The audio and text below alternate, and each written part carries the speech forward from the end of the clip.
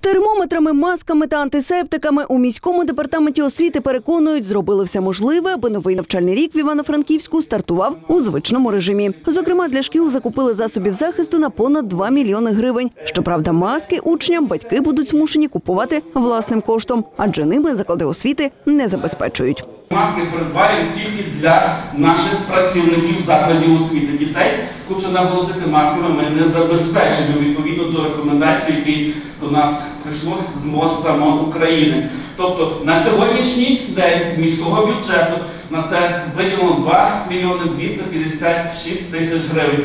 Отож, батьки не повинні купувати ніякі дезінфікуючі та анти- антисептичні засоби. Місто Івано-Франківськ все це забезпечить.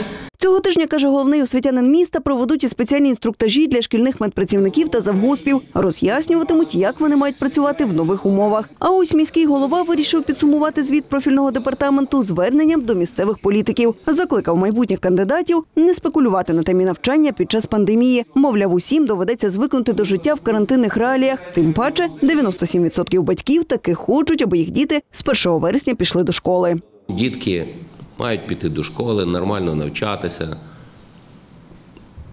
Полегкі, якщо навіть когось виявили, будемо десь закривати чи клас, чи десь якусь школу. Нічого страшного в цьому немає. Ми ж переживали епідемію грипу. Уявіть собі, що це, умовно кажучи, епідемія грипу. Якщо буде перевищувати, ну будемо будемо попадати в червону зону, ну будемо закривати на тиждень-два школи. А що ми їх не закривали, коли грип був?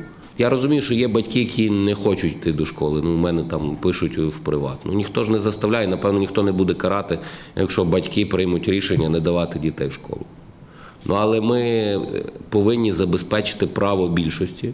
Нагадаємо, перший семестр у школах міста розпочнеться традиційно 1 вересня і триватиме до 31 грудня, другий з 25 січня по 31 травня. Також плануються осінні, зимові та весняні канікули. Наталя Лозовик, Андрій Гаргара, телеканал 402.